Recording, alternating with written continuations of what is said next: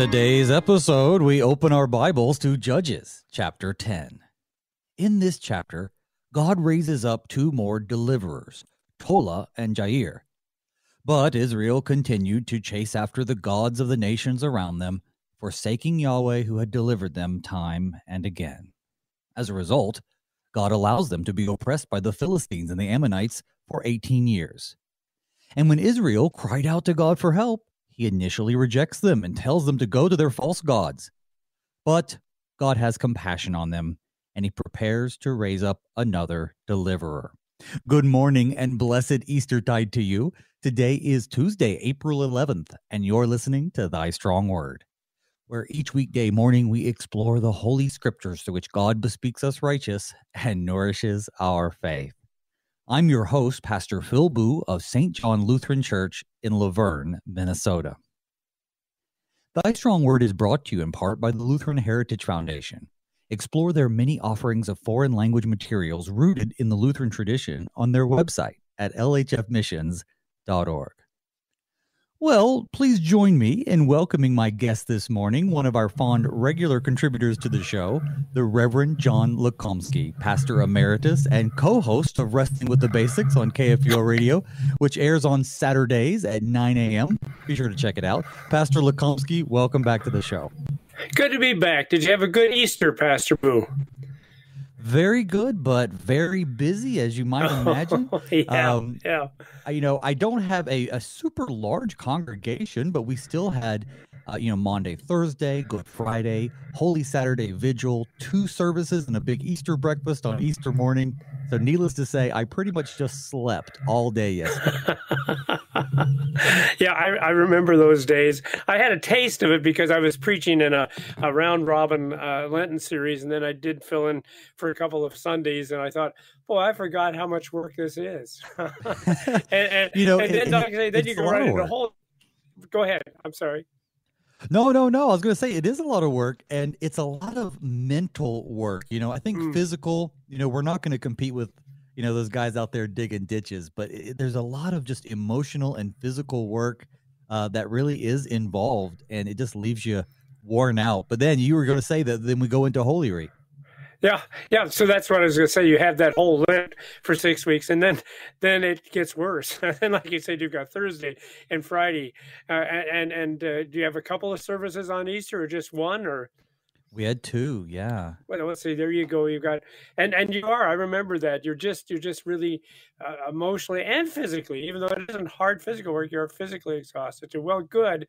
I'm glad you got rested up, and now you turn around and you've got to do the radio show and go back to all the other pastoral things. It doesn't stop. Oh well, you know, I, I should say I get to right. I'm I just yeah. every day that I get to be on the radio with you guys, it's amazing, and then I just can't believe how blessed I am when I get to show up to my work, which happens to be sharing the gospel with people. And I just, you know, I wouldn't do anything else. And I've done a, a lot of things in my life. I still wouldn't do anything else. I, I'm sure you agree. Well, and you you hit the highlight right there, the getting to share the gospel, uh, uh, and especially when you you're dealing with people that are just sponge. They just soak it up. Uh, the more you tell them about the love of God, you can just see it on their face that it's just just the greatest thing that they've had. So you're right. It, it, it is a very very difficult job, especially this time of the year. Did you have any extra funerals? Because it seems like the devil kind of puts a little extra burden on us a lot of times. Uh, did you have anything extra like that going on? No, I was blessed. You know, no no funerals this time around. No, of course, I would usually get to plan weddings. No weddings did I have planned. Uh, nothing really extra. Just got to concentrate on giving uh, the best message that I could and let the Holy Spirit do the rest with it. You know, I did get to do, and I've been doing this since I've become a pastor, but this is new to my congregation. I introduced to them the Easter Vigil on Saturday oh, night with, oh. with, the bonfire outside and the moving into the darkened worship space and, and stages. And um, for I think uh, I think this is my third year here doing this. Uh, we had about 50 people, which is considerable for a pretty late service, and it was wonderful. Um, and and what uh, see we we uh, we always had a Saturday night service, so it was just natural for us then to have the Easter Vigil uh, on Holy Week, and it is it's just a wonderful addition to all of the worship services. But again, yet another service that needs to be prepared, but it, it's worth it. Like I said, it's really worth it. Although you do need to take a little bit of break after.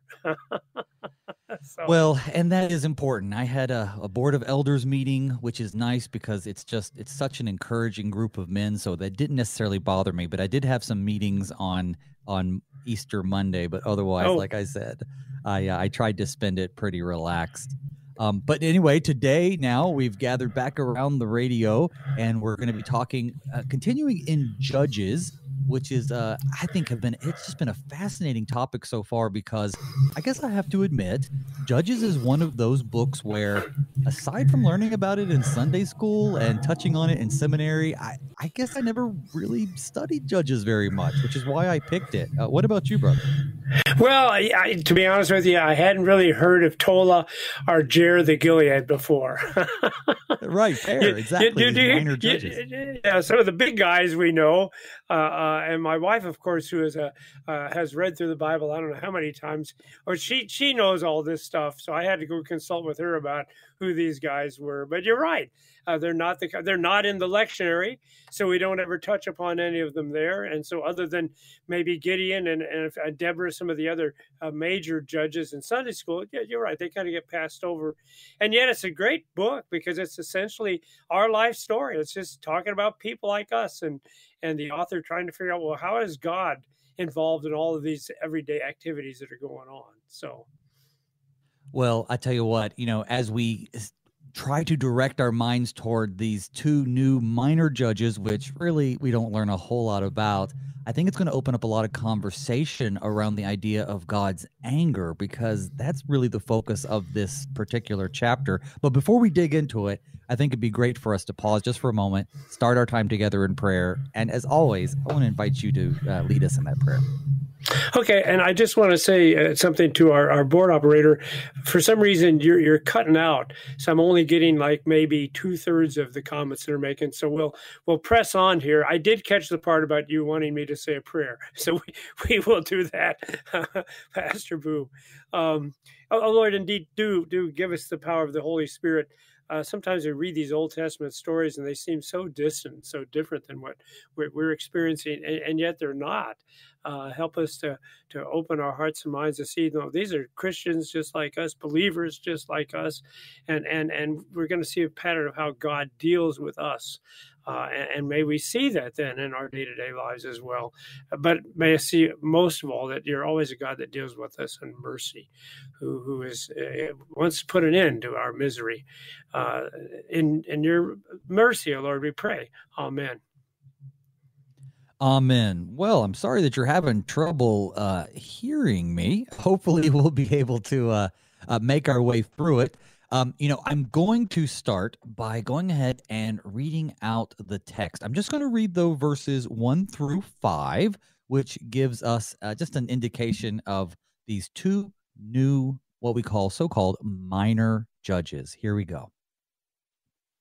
After Abimelech, there arose to save Israel Tola, the son of Puah, son of Dodo, a man of Issachar and he lived at Shamir in the hill country of Ephraim.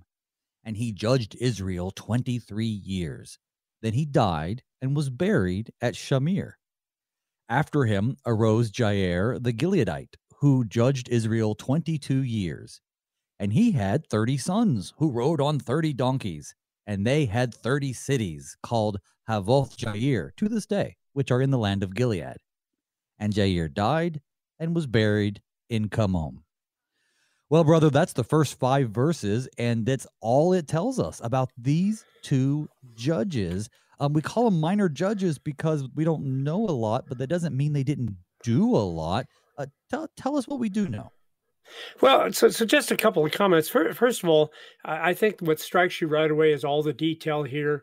Uh, we, we, get a little bit of their genealogy. We're, we're, told about where they lived. We're given a, a time framework. Uh, and I think it's important to remember that we're just reading history here. Well, well, not just, is it? but but it is history. I, I think the danger is, and, and, maybe this comes from the Sunday school where we take out this story and take out that story, and here's the lesson, and here's what God's trying to teach us. Uh, but the fact of the matter is, no, these are just these are historical records. These are real people. These are events that actually took place the author, of course, is wrestling with the question we wrestle with. Where is God in all of this? How is he in control of this? What is he doing in all of these situations? But but let's not turn this into Aesop's fables or something like that. No, these are all real people, real history, uh, and of course, God's working in our history too. And that's our question: how how uh, how and why is he doing the things he's doing? Um, the the other thing I think that I really love about these two guys is is if you work with the the, the big uh, the the major uh, uh, judges, it seems like Israel is always in turmoil, and I found it kind of comforting to know for what was it like forty some years here, things were going along pretty smoothly. Um, not that there wasn't trouble, because uh, uh we were told that this Tola uh, saved Israel, so obviously they were still having struggles and trials. But, but it's kind of nice to know that, yeah, as as believers, we'll have years and years and years where nothing really significant happens. Life is just going on, and, and God gives us leaders to watch over and care for us, and we should be happy in these times of relative peace. I think that's a really good point. We don't learn a lot or really anything about outside nations coming to bother them. So the saving that's going on, I guess, must be a lot of internal stuff, but nothing to the level of a drama that might require, you know, a couple chapters to explain it to us. Uh, and, and I think this relative peace doesn't negate the fact that God still is sending judges among them to lead them and guide them, as you pointed out. Um, yeah. So I think that's a, that's a really good point because I think American Christians have experienced that themselves. You know, in the past, gosh, 40, 50, 60 years, American Christians have enjoyed, well, pretty good favor among the culture, among the government, among the people. And in these last days, things are turning turning a little bit. And it makes you wonder if there isn't some connection to the fact, as we'll read here in a few minutes, the people of Israel I guess, comforted by the relative peace and security of their land, once again started to turn away from God. You, you know, I, I really like that last phrase comforted by the relative peace. Because, see, that's what I was thinking. I was thinking, we all figure if, if God would just give us some peace, right? then we'd be really good, upstanding Christians, wouldn't we? I mean, if we didn't have all the problems and trials, well, we would just be the finest believers you could find anywhere. But but see, that's what's going on behind her. So God gave them that relative peace. He gave them apparently two pretty decent leaders. Did that stop them from turning to idolatry? No, because the problem isn't what's going on outside of us. See, that's what we think. It's what's going on outside of us that's infecting our faith. But what affects our faith is the fact that we're born sinners, is what Jesus says, what comes out of the heart. That's where the problem is. And so, yeah, God could give us a, a, a, period of relative peace. Would that make us better? No, no. What, what we would do is just what you suggested. We would get comfortable and we would begin to think that we are the reasons that we have a relative peace. And we begin to think that that's what's life about, having all of this, everything just hunky dory. And, But no, we see in this text, no, now, that doesn't keep us believers, but sad to say, we usually fall back into idolatry. We usually end up putting our faith in those things of peace rather than the one who gives us the peace. Yeah, that that is such a temptation when there are no trials or tribulations, when when the uh when we feel like we're not being persecuted, we just get, as you said, really comfortable. Now, though this is a little bit off topic, but it is from the text it says um, after uh, Tola, there arose Jair, the Gileadite, who judged Israel for 22 years. And it describes him, I think, in a kind of a unique way. It says he had 30 sons who rode on 30 donkeys, who had 30 cities. Uh, I, I guess this is indicating his his wealth, but what, what a strange, I guess, phrase or way to describe them.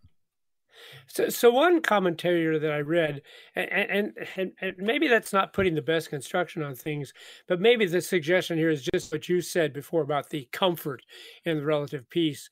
That they've they've done so well now that he can have many many children and they've they've settled many many cities and and they're beginning to think well how could things get any better we've got everything under control everything's just exactly the way we want it to be and, and that then eventually leads to the very sad things that happen in, in the next verses well like i said maybe that's maybe that's not putting the best construction on the thing but that is at least one opinion that i read yeah, I mean that makes sense. I, I think the equivalent of a donkey would be like saying something to the fact of, you know, he had thirty sons and they were all very wealthy. They all had nice cars and they all ran uh, prosperous cities. These would be tent cities, I suppose. And and the author in Judges is saying, uh, by the way, you we even know about these cities today. It's Havoth Jair. That's why they call them that. So. Yeah. Uh, it's kind of neat. He's connecting it to his hearer's experience. You know, these cities that you know about, well, that's who I'm talking about, Jair the Gileadite. Oh, and now see, now you really you uh, you just had made me smile because isn't that our, our children all have nice cars, Man, we've arrived, haven't we? But see, that's the problem. No, that isn't a good thing that our children have nice cars. Well, it is. I'm not complaining about that, but is that really what what right. being Christian is all about? That all of our kids they have their nice homes and they have their nice cars. And I'm thinking that's nothing. That's absolutely nothing. We'd be better off if our kids didn't have anything, but they had faith. That's what's crucial.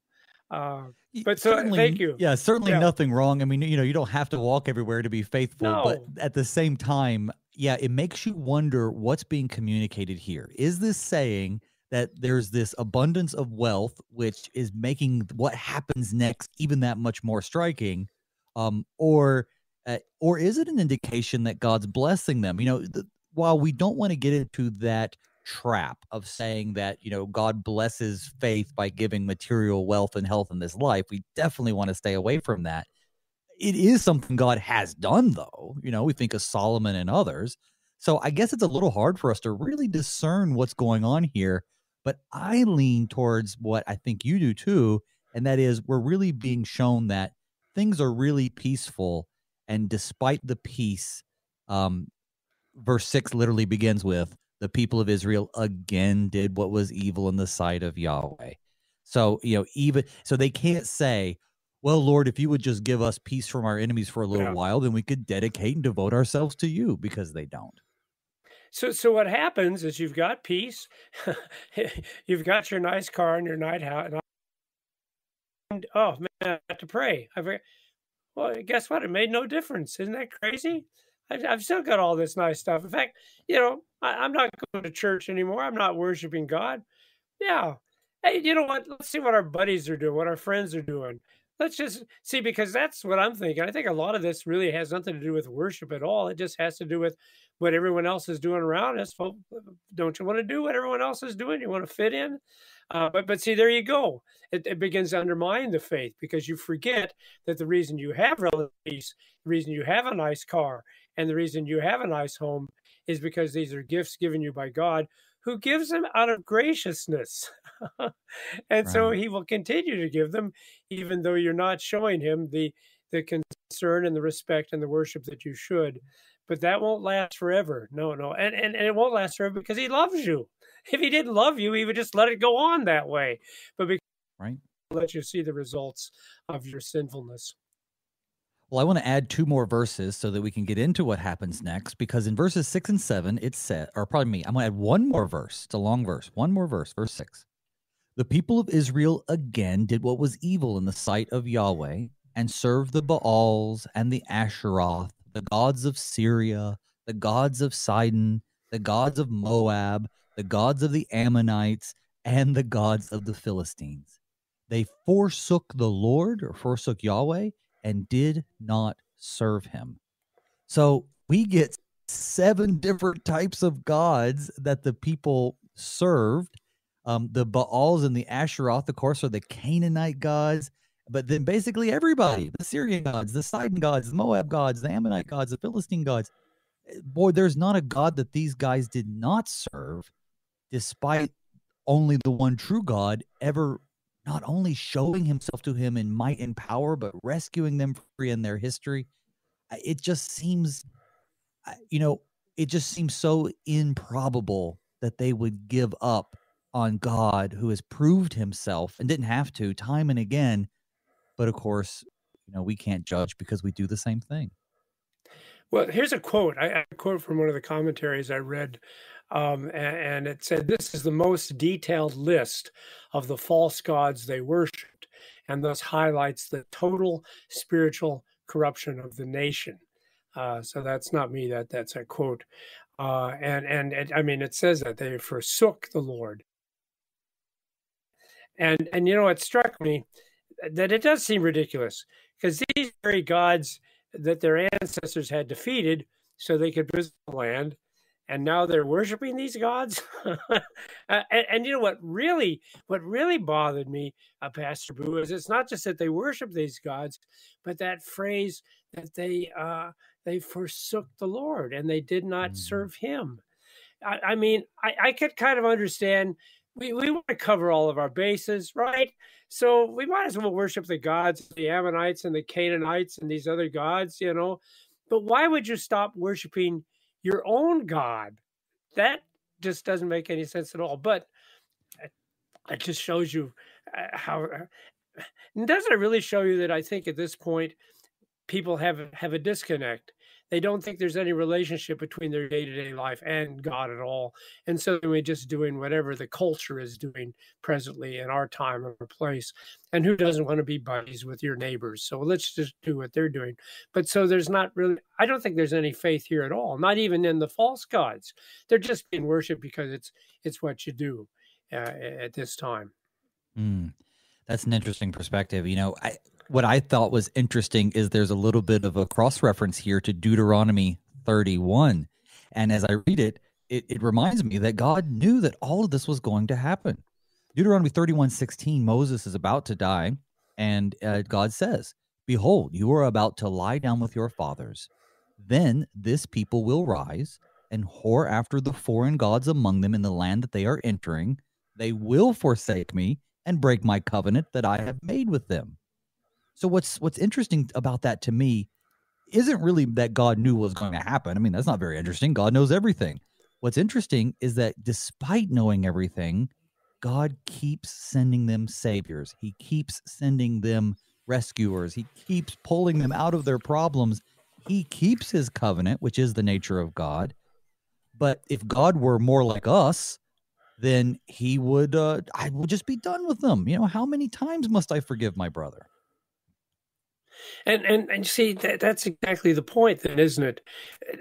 They they think that God had favored them because they were favorable, right? They're God's people, so naturally He's going to do good things for us. And, and I think what the Scripture shows over and over again is the only reason God did anything for these people was because He is a gracious and merciful God. He just loves people, and because He loves people, He does good things for them, whether they deserve it or not. Uh, and so we have this pattern then where we begin to think that it's because of us and how good we are and don't we deserve all these things. I, I, think it's the pattern that we're going through in the United States right now that we really think we're really a lot better nation than most other nations. We actually deserve all these things that God has showered with over the last 200 years. And, and sad to say, we, we have to be constantly reminded no, no, God doesn't give anything to people because they deserve it. God does everything out of gracious and mercy, and including what you just mentioned, the fact that He constantly sends us a Savior, especially to the people who don't deserve it. Uh, and that's kind of the key thing, isn't it? That repentance, that recognition that it's all grace, it's all mercy, uh, and and thank heavens that it is. And I don't want to read too much into it, but I suspect that some of the relative peace that they experienced over the past 40 years might have had something to do with the fact that they were adopting and inculcating themselves into the cultures of all all around them. So the more they gave in to their enemies and their neighbors and people who would rightly destroy them and people who they were called to destroy themselves, the more they just gave in, the more worldly peace they experienced, which they mistook for God being pleased with them. And and if that doesn't reflect American culture, I don't know what it is. Just what you were saying. You know, we just think, well, look at us. You know, the more we give into the world, the more we um, don't stand up for our own ideals against those others, well, then people are just going to like us better. But that doesn't always turn out to be the case in the end. Boy, I, boy, I, I, I, I'd never thought of that, but that that resonates with me, Pastor Booe. And so you can kind of see it. You've got this, uh, this, this uh, Tola, and it says he saved them, and so they're still struggling under his rule and he's still leading them and delivering them. But then, like you said, it gets a little more comfortable, and we start just going along with what's going on in the countries around us, and then we don't need to worry, right?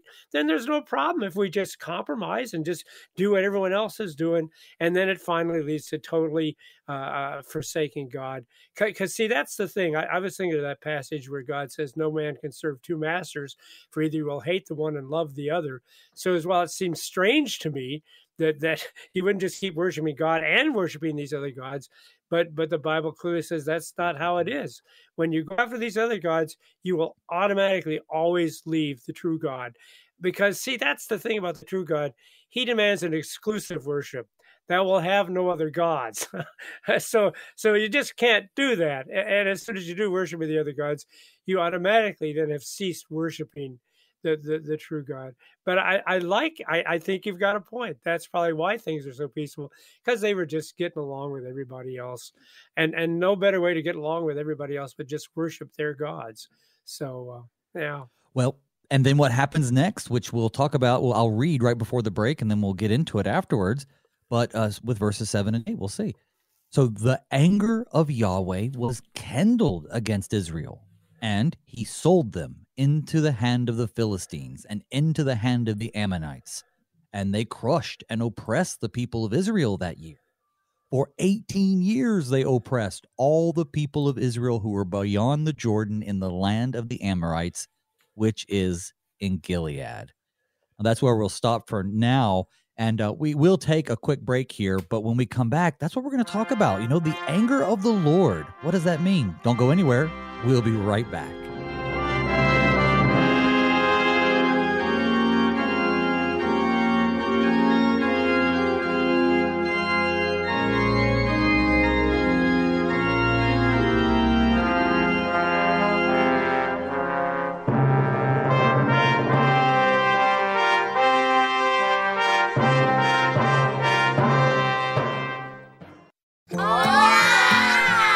These are the voices of young Lutherans in Mexico City, children who are excited to learn more about their Savior, Jesus.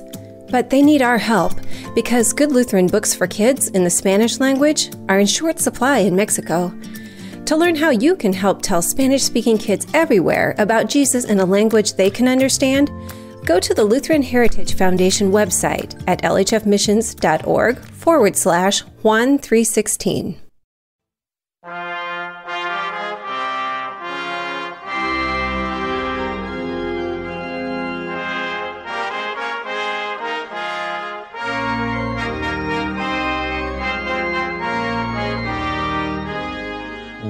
Welcome back to Thy Strong Word. I'm your host, Pastor Phil Booe. With me this morning is the Reverend John Lukomski, Pastor Emeritus and co host of Wrestling with the Basics, also on KFUO.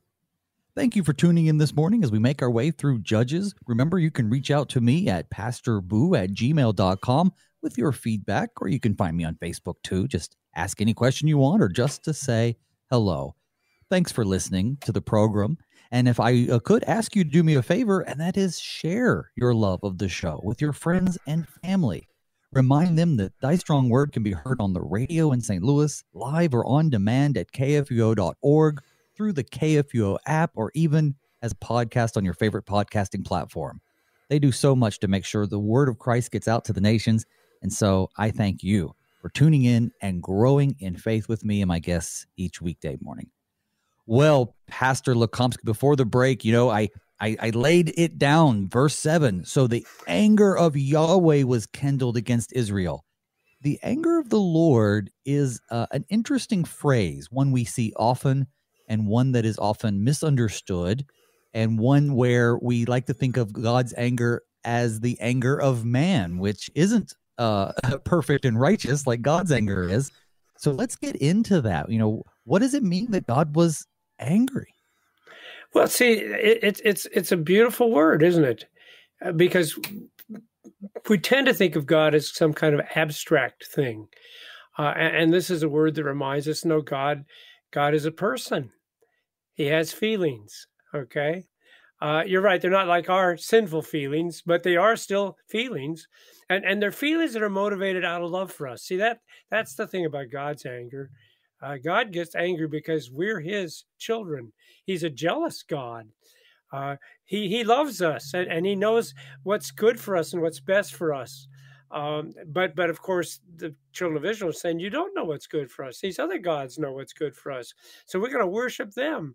And and they bring us peace when we worship them because we're no longer fighting with these people around us that, that you've caused us to fight uh, and, and and make us uh, uh, evil in their sight.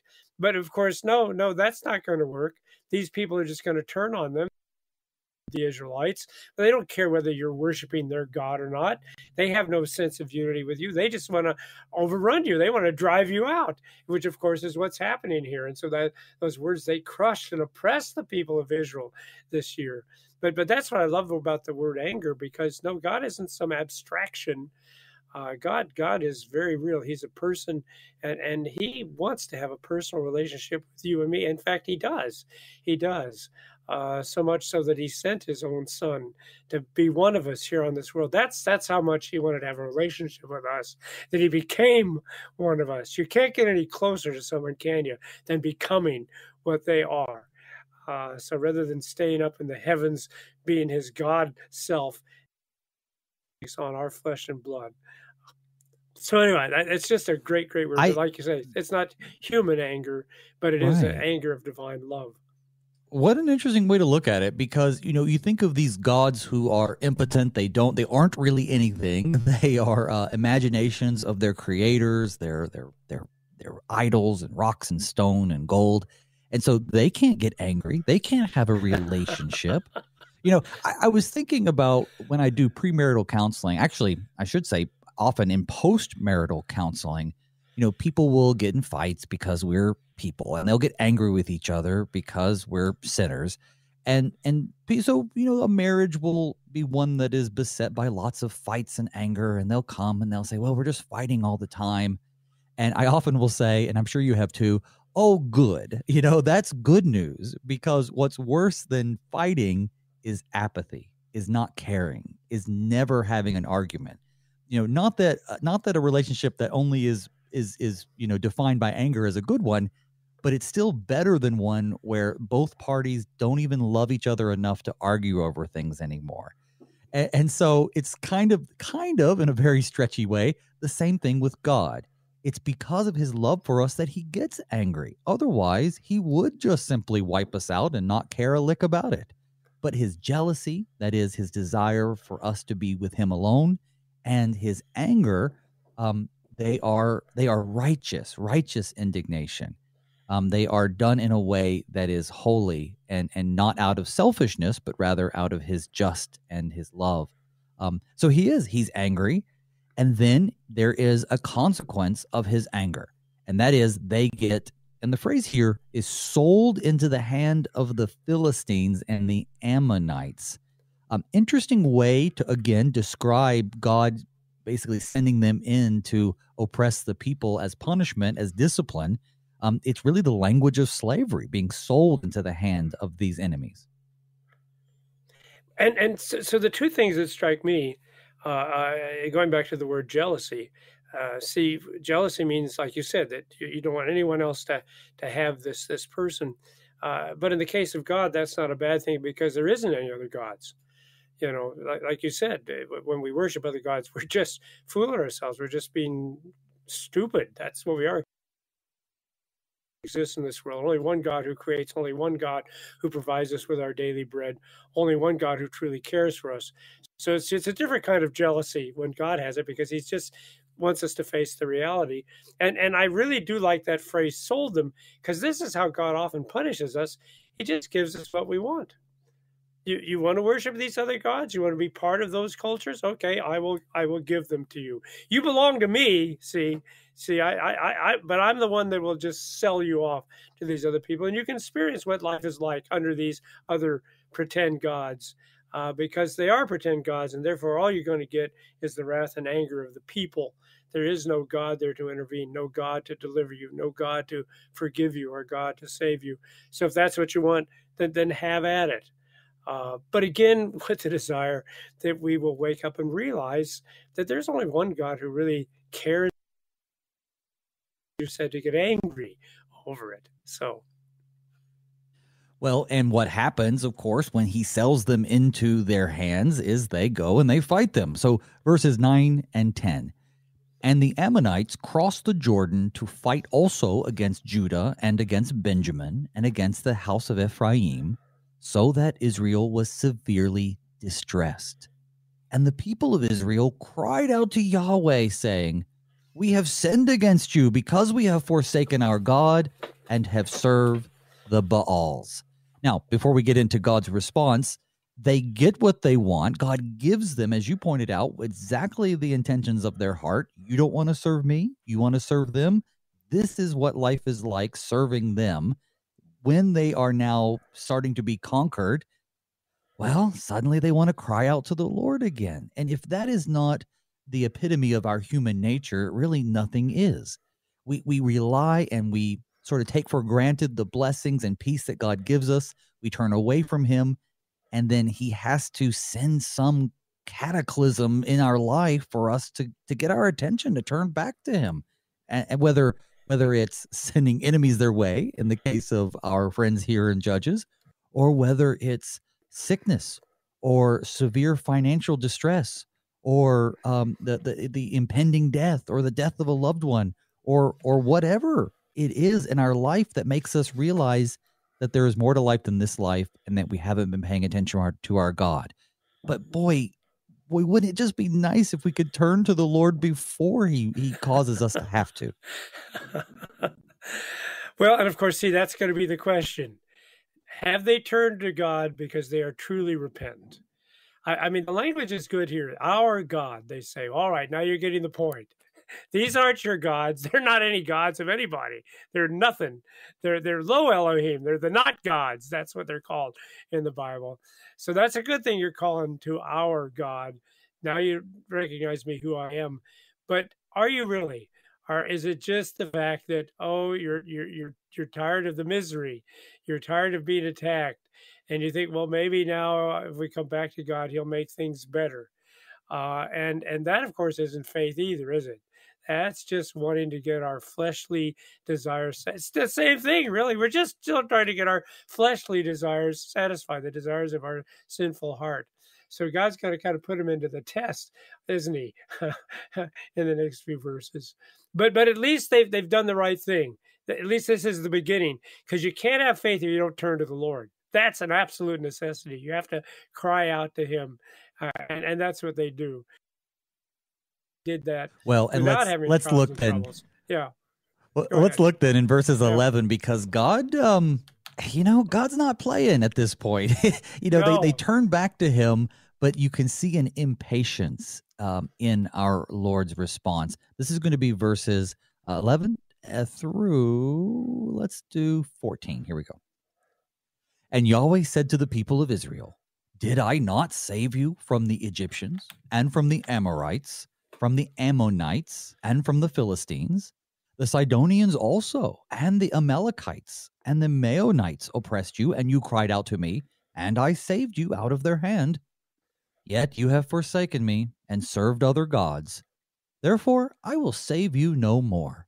Go and cry out to the gods whom you have chosen. Let them save you in the time of your distress. You know, I I just can't help but, you know, oh gosh, I just can't help but ponder these words because when in those times we take for granted the blessings of God and something bad comes along and we return to the Lord, one of the blessings of the faith that God has given us and the revelation of Scripture is that He's always there for us. He's always waiting. We proclaim it from our pulpits, you know, return. You're, if you're the prodigal son or daughter, that's okay because the Father is there with open arms. Well, here they return, and God tells them, and it must have been frightening for them to hear the words, No, no, you've made your bed, go lie in it. Uh, what do you think? It, this is tough to hear from God. Well, and the thing is, it's a reality. And, and I suspect uh, most of our listeners have experienced this. Uh, where there's some crisis or trial, maybe the loss of a loved one, uh, or maybe some kind of illness, uh, or maybe a loss of a job, whatever it is. The, the world is filled with all kinds of things that are, are, are, cause us great despair, that oppress us. What was the words that was before it was used? Well, whatever it was, they were oppressed and, and crushed, that crush us. And, and, and we do because we're Christians. Uh, severely distressed was the other word that was used earlier, and we are, and we cry out to the Lord, and and very often nothing happens. right? We cry out mm, and True. nothing changes. And we're wondering, is is this the Lord? What's he saying? Is he saying he's not going to save us? But but see, this is where faith begins to to blossom and to grow. Because faith is hope in the things that are unseen. See, that's the problem all along that the Israelites want to equate their relationship with God with what's going on in their daily life. So, well, you know everything is going fine well then we must be all right with god. Well let's go on and try some other gods see how that goes. Problems come we cry to the lord. But but we have to understand that the lord's with us whatever the situation. Uh, the lord is with us and loves us not only when every have, have a car and a new home but he certainly loves and cares for us when we're struggling and when we're having trials.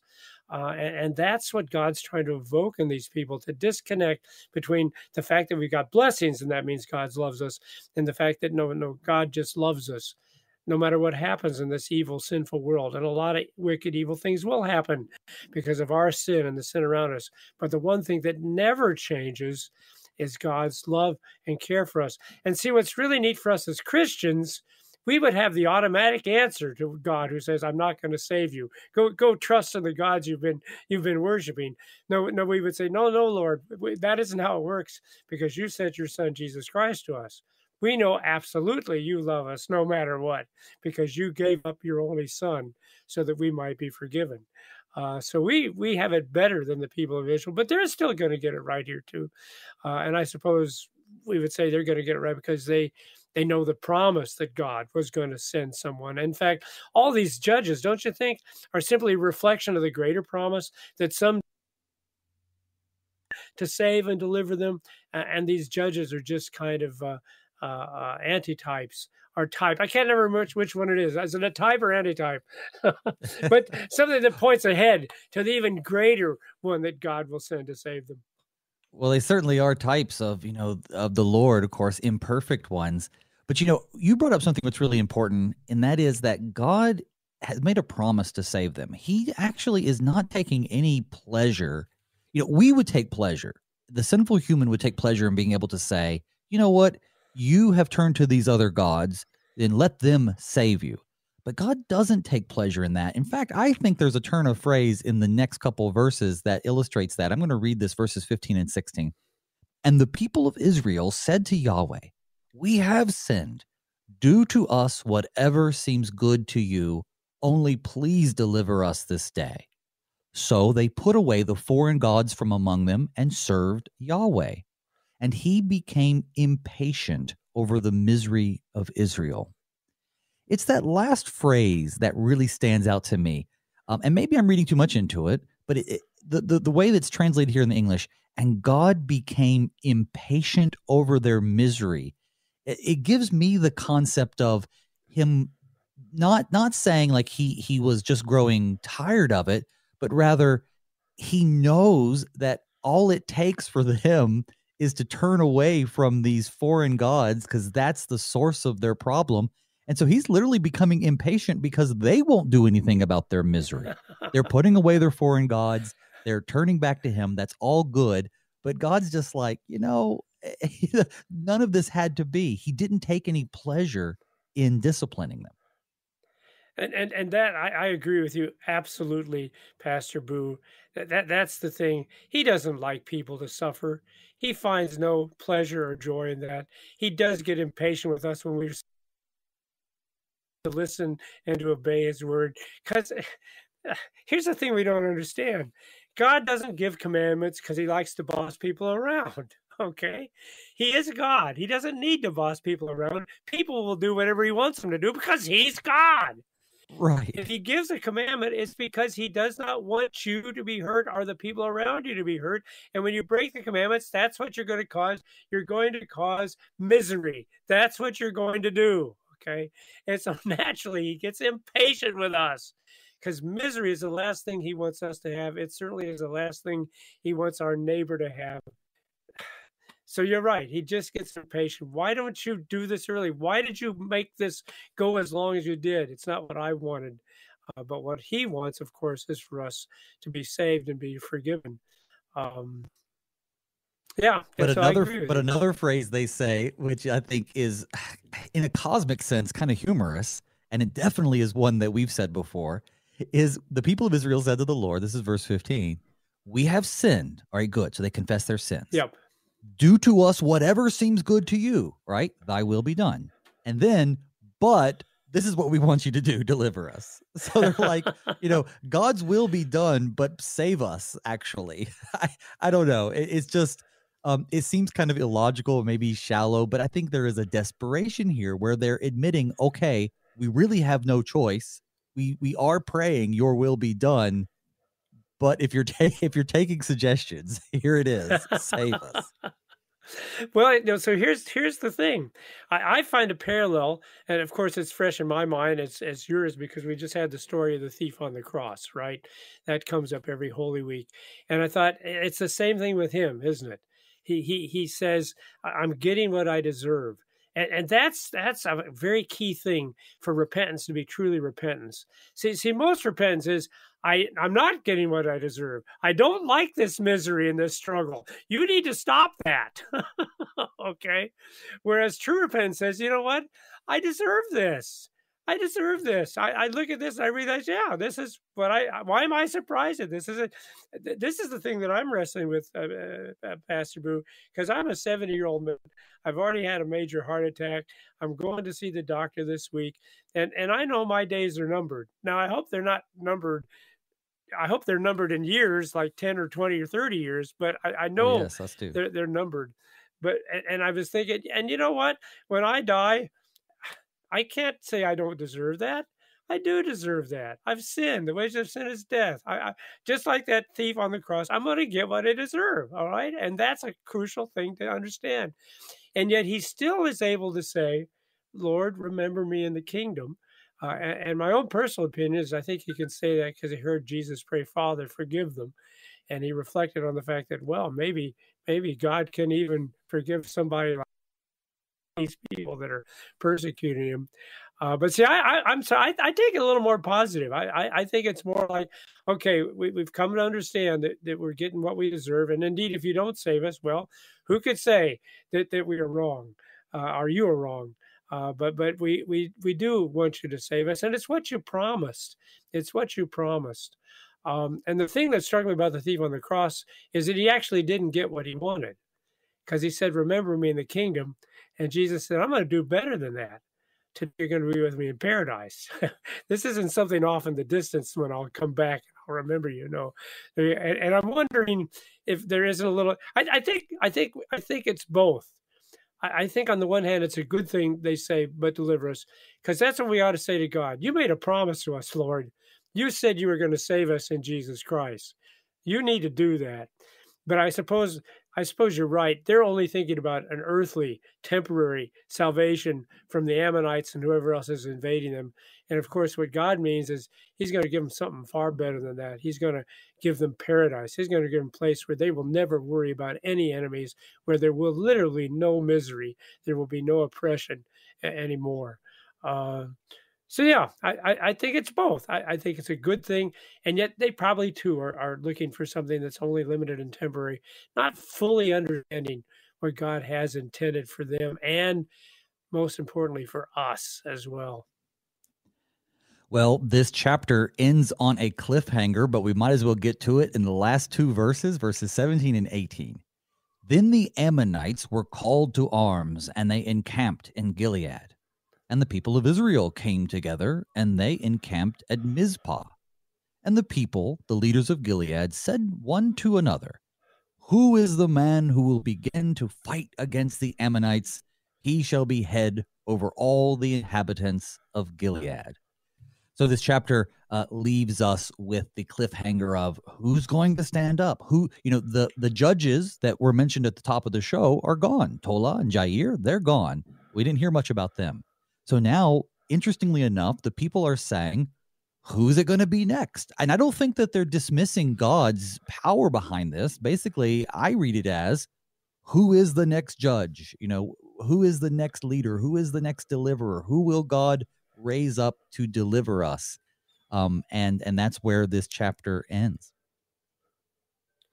Um, and and there's just two things that, the first actually goes back to the verses we read previously, uh, and you, you you alluded to this: the fact that they stopped worshiping the other gods. I, I do think we need to emphasize that. But where there is true repentance, there will always be the the, the fruit of good works. You, you can't say in one side of your mouth, "Oh God, we love you and worship you, deliver us," and then in the other mouth be praying to Baal. Uh, so I think that's crucial that there is a uh, that there's real repentance here because it's showing itself in the fruits. Not that the fruits are the repentance, but certainly where there is true repentance, there will be the fruit. And and and then we have this really neat conclusion. We we need someone to save us. See, that that's what's so nice in these last verses. They realize, like you said, they need another judge sent by God to deliver us. And and I think that's the lesson for us. Um, repentance is not simply realizing we're doing something wrong and then thinking, okay, now I need to do better. Yeah, I'll take care of this, Lord. Just give me a chance. I'm going to really start praying to you now. I'm really going to start going to church. Trust me, God, all those things I wasn't doing, I'm going to start doing, and everything will be fine, and my life will be back where it should be. No, no. The, the true repentance is say, Lord, I not only need you to save me, but I need you to send me a Savior because I've come to the realization I'm going to do this again and again and again. I don't want to, help me not to, but inevitably I will. I'll fall back into the same, I'll start worshiping these gods again. I just will because that's how I am. I'm a sinner from birth. So you need to send someone to me who will deliver me and save me. So I think that's what's really neat. And, and you're going to have that, aren't you, the next time you get together? God will send a most unlikely savior, the, the, the son of a prostitute of all things. Wow, that doesn't seem like the guy that would be a savior. But I'm jumping the gun now, getting into your material for tomorrow. That's right. Jephthah is who we're going to be talking about tomorrow. Uh, anything else? You know, that's such a beautiful note to end it on, though. Our need for a savior, especially this Easter tide week. You know, we we've come through Holy Week. We've come out on the other side. The tomb is empty. The cross is bare. Jesus is alive. He's ascended. He's returning again. Anything else for the people before we finish up today? Well, I guess to simply say what you just said. We have a savior, people. We have a savior. okay. So will you quit looking for joy and happiness in having a new car and a fancy home? okay. All these worldly things that you think are going to provide you peace, they're not going to give you any peace at all. In fact, it seems to me the most worried people I know are the people who are well to do. You know, I often thought if I was well to do, that would solve all my problems. But uh, having had a taste of that, because we're doing pretty well here as retired pastor, uh, uh, and I found nah, the same worries, the same troubles, the same concerns, they're all here. And now I have to worry about losing my money. like that helped. So no, good thing. No. Good thing you have the Lord, right? Absolutely, absolutely. Uh, and, I constantly keep praying to the Lord, please don't let me be so foolish as to act on my sinful flesh. Uh, please do whatever you need to do to keep me and my family just trust and relying on you. And if that means that you have to discipline us, if it means that someday I die because I deserve to die, that's okay because you have given me a Savior. I know that for a fact. And because of that Savior, I know for a fact you will always love me no matter what. Amen to that, brother. I'd like to thank my guest this morning, the Reverend John Lukomski, Pastor Emeritus, co host of Wrestling with the Basics on KFUO Radio. You can hear him and fellow host, Pastor Matt Clark, on Saturdays at 9 a.m. So be sure to tune in and listen to their great program. Thank you, Pastor, for being on the show. Thank you, Pastor Boots. Always a joy to work with you. Same here. Uh, tomorrow we're going to move into chapter 11, folks. God does respond. He raises up two judges, Jephthah and Ibzan, who will deliver them. We're going to explore that narrative over the rest of the week. So be with us every day this week. Until tomorrow, though, as always, may God's peace and blessings be with you all as we pray, Father, keep us in thy strong word.